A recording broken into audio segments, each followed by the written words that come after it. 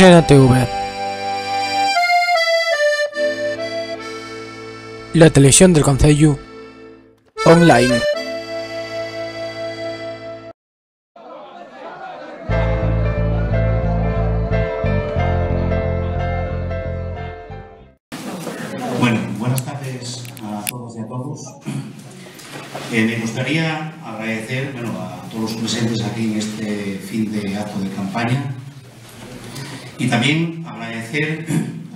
Concejales eh, que no van a estar en esta legislatura con nosotros, a Roberta Campomanes, a Sandra Marinero, a Laura, a Gabriel y a Félix Payares, que por motivos personales y laborales no van a poder continuar con nosotros en esta legislatura.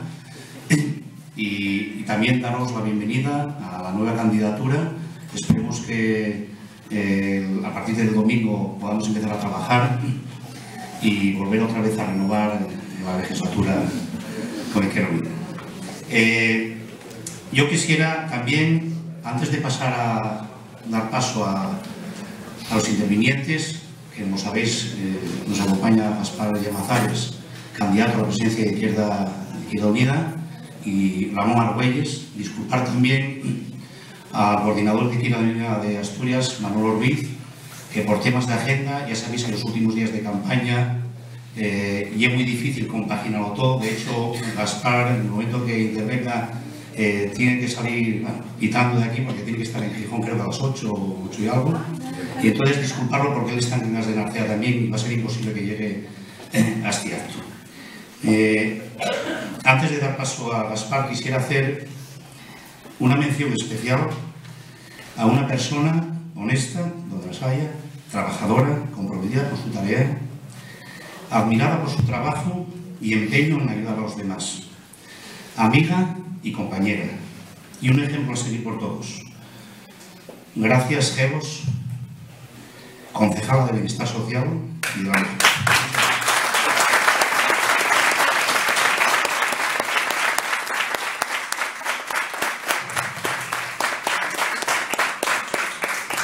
Y sin más preámbulos, por favor, Gaspar, cuando quieras.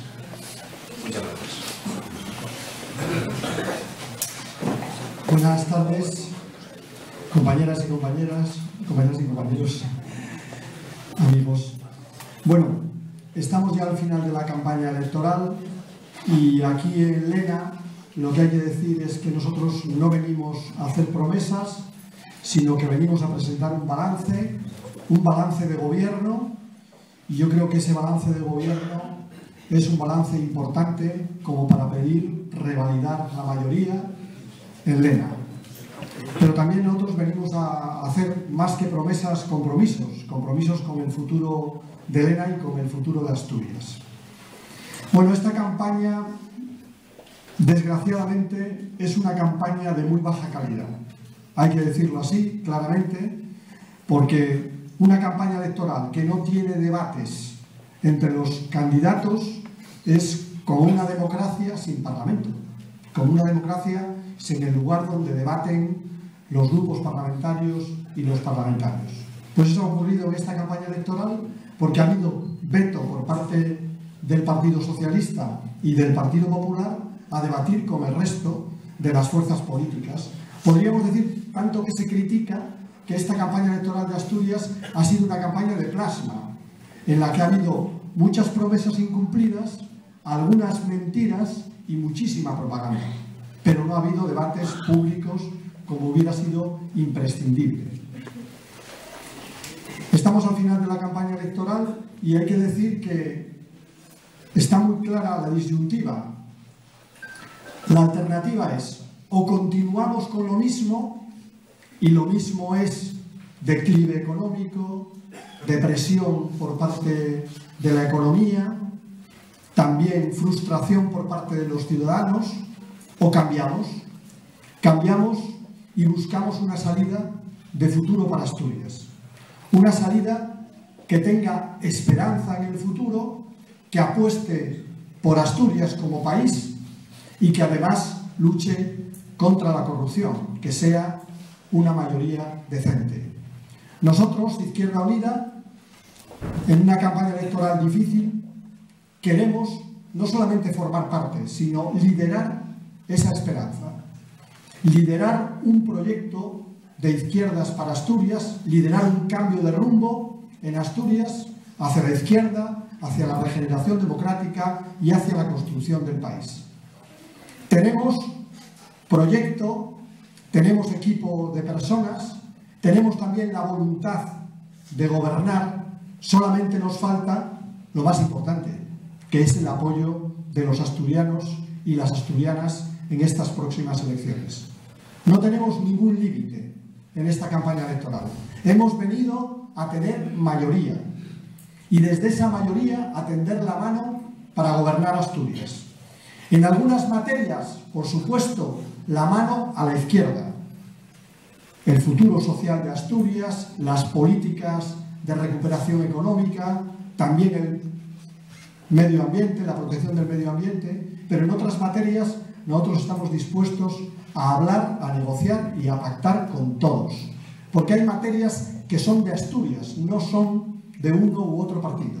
Por ejemplo, la variante ferroviaria de Pajares, que sigue ahí pues esperando a su culminación y que de nuevo la ministra Pastor ha venido a Asturias a decirnos que se terminará a lo largo de 2015.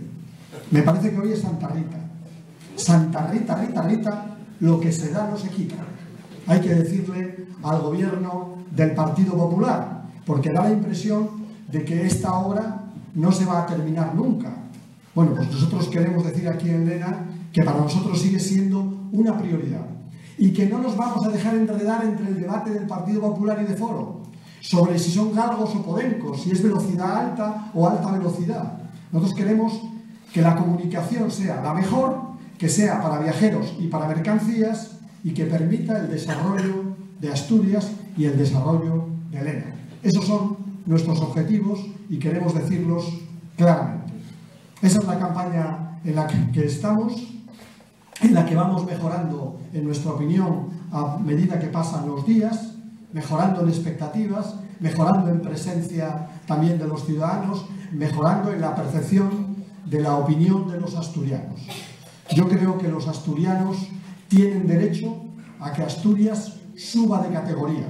El Sporting, el Oviedo, pero Asturias también debe subir de categoría. Y ahora ya no depende de los partidos políticos, ya depende del voto de los asturianos. Si votan continuismo y depresión o si votan una esperanza de cambio, de cambio de izquierdas y de regeneración democrática del país. Nada más, muchas gracias.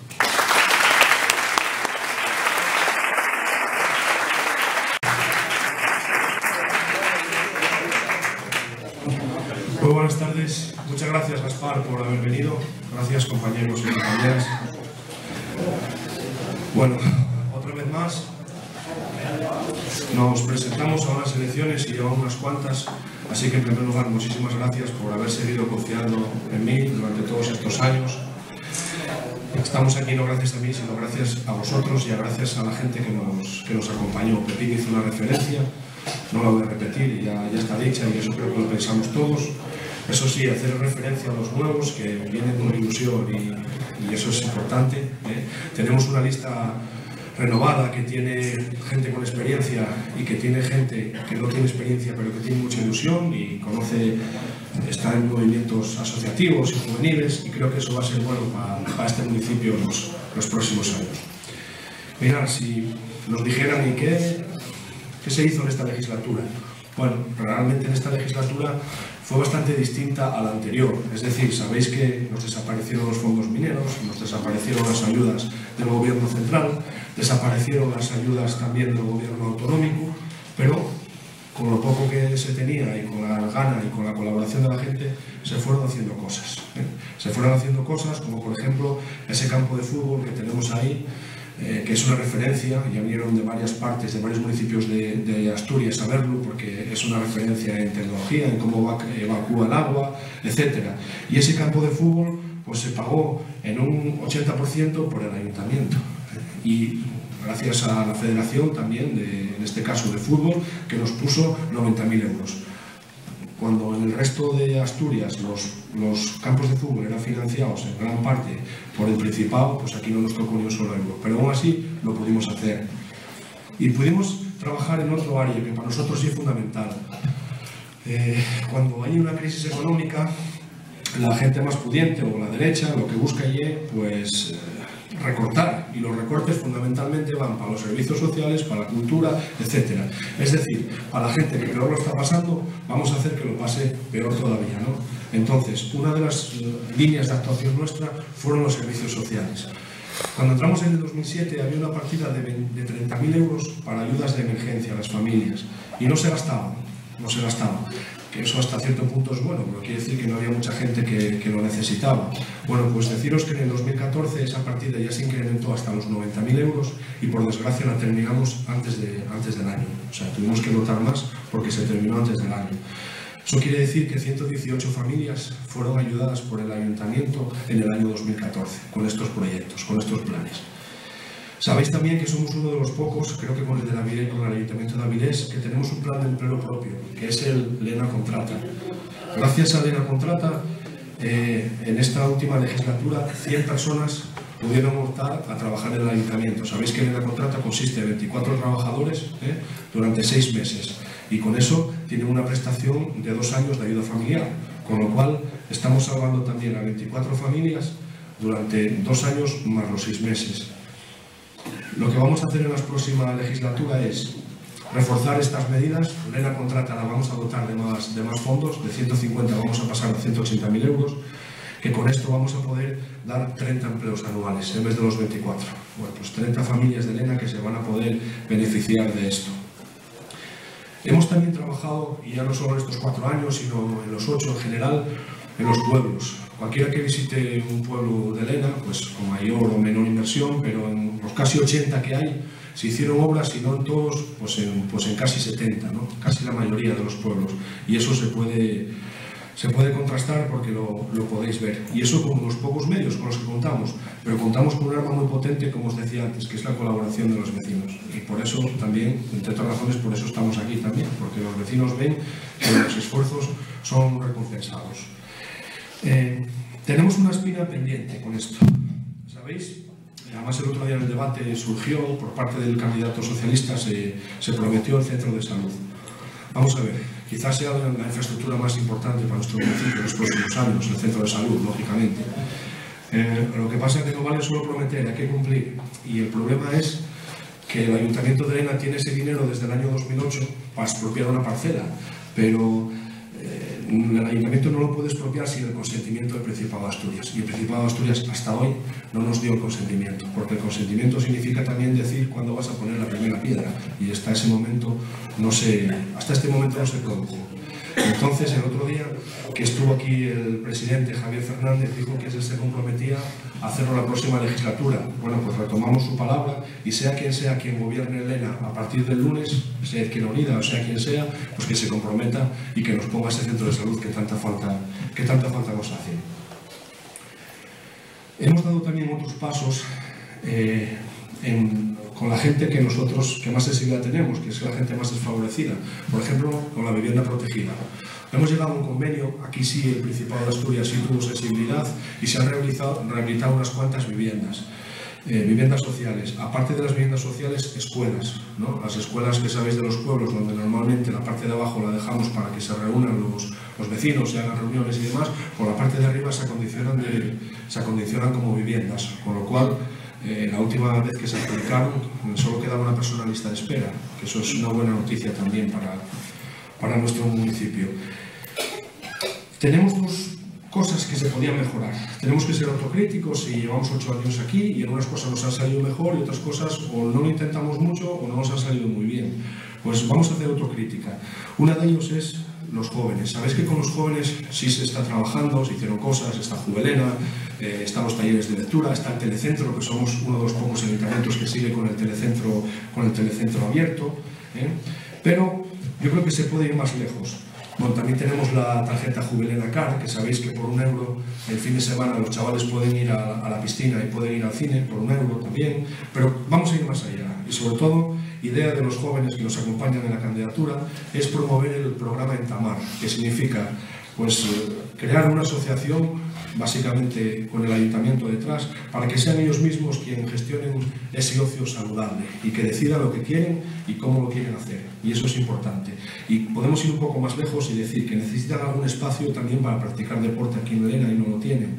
Y vamos a proponer eh, construir una cancha polivalente en el Parque de la Ría, que eso es importante, con unas canastas de baloncesto o algo, algo para que los chavales para que luego no digamos que, que, los chavales están perdidos por ahí, porque no, tenemos que darles alternativas y, una, y esto creo que es una buena alternativa. Tenemos polígonos también, sabéis, el polígono de Villallana que está sin desarrollar, el polígono de Cobertoria. Hay posibilidades de, mejorar eso, pero claro, ahí dependemos un poco de los, de los fondos de fuera. Y como sabéis, también se nos deben casi 20 millones de euros de fondos mineros, que hay una sentencia que ya salió favorable, pero que el gobierno nacional no acaba de, no acaba de hacer efectiva.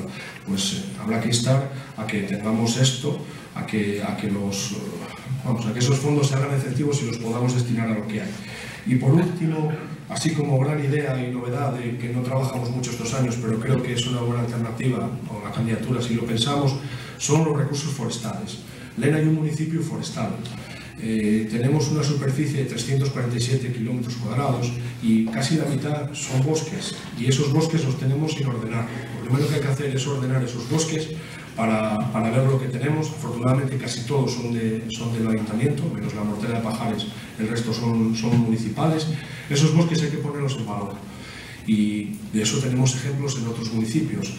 Eh, un bosque que creció como, como, quiso y sin mantenimiento y sin estructura, pues no vale la cosa. Incluso la madera estará enferma y no se podrá ni, ni, extraer la madera, ni hacer biomasa, ni nada de esto. Entonces lo que proponemos es una ordenación de bosques y empezar primero con el catálogo que tenemos de bosques y después empezar a, cortar y a plantar y con eso lo que se puede generar, no solo empleo, que se va a generar empleo lógicamente, empleo saludable o sostenible, digamos, sino que también vamos a dar un valor a una cosa que no la teníamos, vamos a prevenir incendios forestales y vamos a mejorar también la vida de los ganaderos, porque los bosques tendrán mejores accesos y, y estarán mucho mejor cuidados para todo, ¿eh? incluso para el ganado. Eh, se hablaba aquí, Gaspar, de la, del AVE. Yo del AVE no sé qué deciros. Me acuerdo que, que, cuando llegamos en el 2011 se iba, se iba a inaugurar en el 2011 ya. Bueno, sabéis que, no sé, la cosa no, no pinta bien porque en otros sitios sí se está invirtiendo dinero y aquí parece que no tanto. Pero bueno, lo único que pedimos ya que se vaya, que se hizo tarde, pero que se, supongo que se va a terminar, pues que nos dejen una parada, por lo menos aquí en Lena, para que en Asturias el AVE tenga una parada, porque si no, eh, de Oviedo, de Lena hacia abajo, el AVE por mucho que corra va a tener que ir a la misma velocidad de, que va un tren normal. Y a Gijón, si tardas una hora y pico, en el AVE vas a tardar una hora y pico también. Entonces, igual a de Gijón también es más rentable venir por la autopista en un coche que, que venir, eh, que venir en tren desde, desde el propio Gijón. Y yo creo que bueno, el programa nos llegó a casa y tal y demás. Yo creo que, bueno, no, no, no contaron más cosas que las que tengáis ahí. También el turismo, la carisa, caravanzos son importantes. Mm, deciros que ahora estamos en la campaña electoral, todo el mundo promete, pero nosotros tenemos una, nos diferenciamos por una cosa. Nosotros nunca prometimos más de lo que pudiéramos dar. Es verdad que a veces a lo mejor no pudimos terminar alguna cosa, pero los programas que presentó Izquierda Unida desde hace ya dos candidaturas, si no se hizo el 100%, el 90% se, se, se realizó. Y por eso tampoco vamos a a desarrollar mucho más porque vamos a meter en la boca lo que podemos masticar, ¿de acuerdo? Entonces, deciros que el domingo tenemos una prueba ahí de, de fuego, que yo creo que las sensaciones son buenas porque no creo que haya motivos para que la gente haya dejado de confiar en nosotros ah, durante estos años, durante este tiempo, que las propuestas que hacemos son realistas, no venimos aquí a vender la moto a nadie y sobre todo que creo que vamos a ganar, que vamos a repetir y creo que lo vamos a hacer con más mérito que nadie, porque lo vamos a hacer sin insultar en el Facebook, en el Twitter, lo vamos a hacer sin poner querellas a los alcaldes, sin insultar a nadie, lo vamos a hacer sin amedrentar a los vecinos, a los que van o no van a los mítines, forzándolos a coger la papeleta a ver si me quieres votar. Y eso que nos distingue a nosotros, eso es lo que nos hace disfrutar más la victoria cuando ganamos. Así que muchas gracias y por favor...